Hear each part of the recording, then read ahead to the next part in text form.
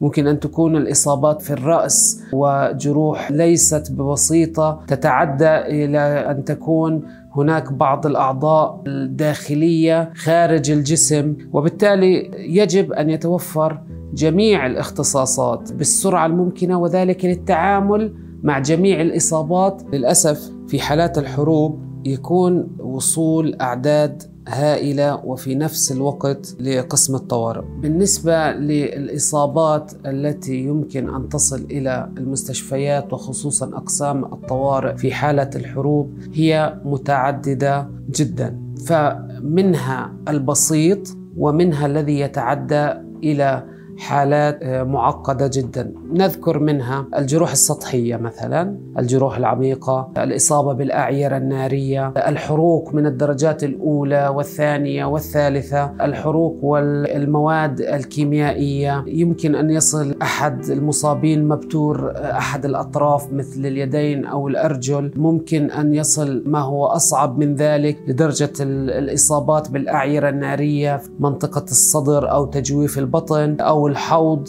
ممكن أن يصل بعض الإصابات في الأعيرة النارية أو المطاطية في العيون مثلا وفقدان أحدها في بعض الأحيان.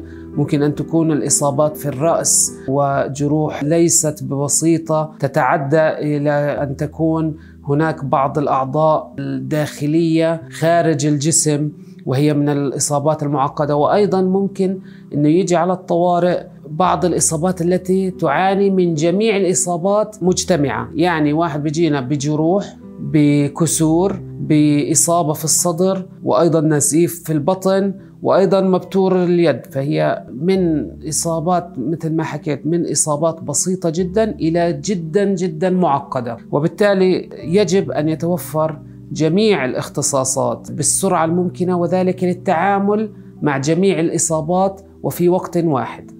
بالنسبة لتقسيم الحالات في الطوارئ وأولوية إعطاء الخدمة الطبية للأسف في حالات الحروب يكون وصول أعداد هائلة وفي نفس الوقت لقسم الطوارئ وبالتالي يكون هناك نضطر آسفين لوضع أولوية لإعطاء الخدمة وبالتالي يكون هناك بداية تقييم أو بما يسمى ترياج عن طريق ممكن طبيب بالأساس المفروض يكون أو التمريض بأي المرضى يستطيع الانتظار وأيهم يجب التدخل بشكل فوري. فبالتالي عند تقييم الحالة يتم النظر لها من حيث شدة الإصابة. في حال المريض أو المصاب يمكن يمكنه الانتظار لفترة معينة يتم وضعه جانبا والتعامل مع الحالات الأكثر صعوبة. وذلك للحفاظ على أكبر عدد ممكن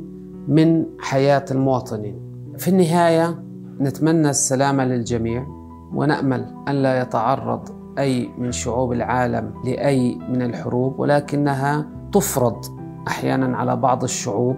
فبالتالي أدعو جميع الأطراف الطبية من مستشفيات ووزارات أن يكون هناك جهوزية عالية لحدوث أي طارئ. فالنتيجة في حالة التقصير هي حياة المواطن للأسف. وبعد خسرانها لا يمكن التعويض. لذلك نتمنى السلامة للجميع.